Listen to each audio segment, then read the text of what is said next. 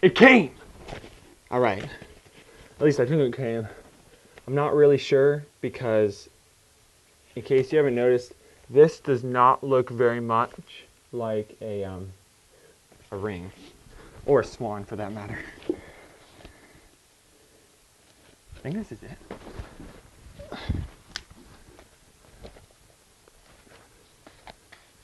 Dude, look at that! Look, it could have fallen out! Holy moly! That's not good. That's not good. U.S. Post Office? Oh man, look at that water damage. Oh man. Oh my word. Let's, let's examine this. Notice the water damage, it's all wet. It's ripping open. Dude, looks like somebody got into this. We're gonna find out. And I have a knife, so we may have to go on a hunt. Not for Red October. Not for Red October, but it'd be amazing if Sean Connery was in this package.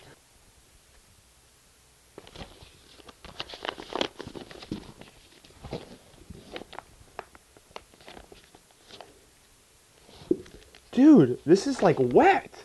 How is this wet? Excuse me. Like, excuse me. Uh, look, I just ripped it with my hand. With no. Excuse me, U.S. Post Office. You are. You're awesome, but. Okay. Okay. There we go. Um, Howard Payne Journal.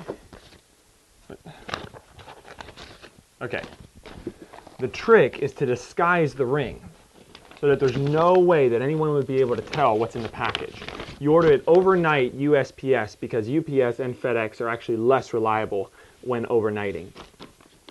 Then you have to make sure you do not ask to insure the package because that's an instant uh, tip off. You notice there's delivery confirmation, I had to sign for the package, but there's no. Dude, it was only $1 postage.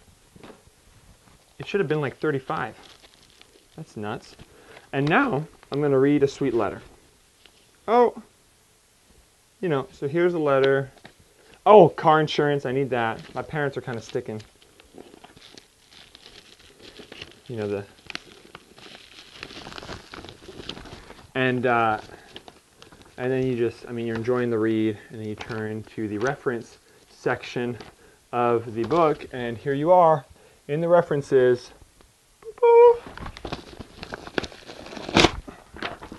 That was good reading, but not that good. Please note waterproof. How do I get into this without hurting anything? This is taped so well. This is so exciting. Oh my gosh. Because you have to understand what I'm holding in my hands right now. This is like my ability to marry the most amazing woman in the world. I just get all almost crying here thinking about it. I'm shaking. Okay, here we go. Here we go. Here we go.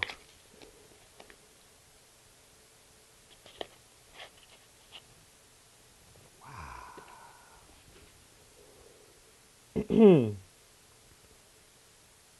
wow. This is my grandmother's ring.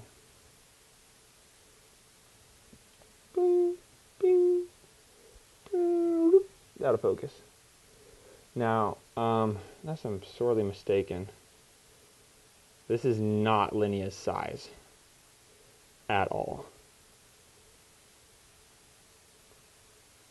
Uh-oh.